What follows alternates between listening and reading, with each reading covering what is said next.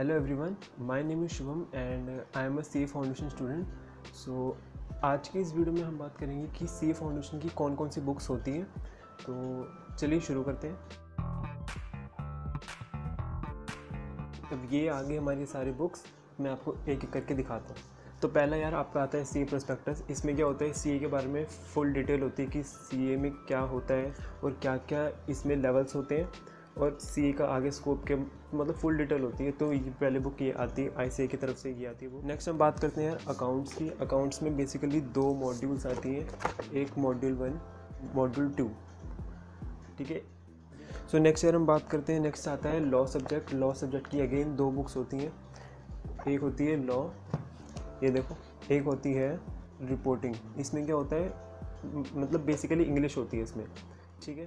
तो नेक्स्ट हमारा आती है मैथ्स की बुक मैथ्स की बुक ये है, लेकिन इसकी वर्थ देखो, कितनी मोटी बुक है। लेकिन है आसान, जो भी ट्वेल्थ इलेवन ट्वेल्थ की सारी बेसिक्स इसमें होते हैं सब्जेक्ट्स तो एक मैथ्स की सिर्फ़ एक ही बुक होती है, ठीक है? और ये लास्ट हमारा आता है इकोनॉमिक्स इकोनॉमिक्स की भी दो ही बुक्स होती हैं, एक होती है ये, एक होती है ये।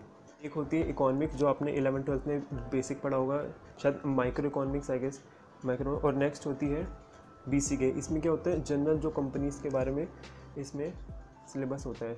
So that's it for today's video and for more videos please subscribe my channel okay bye bye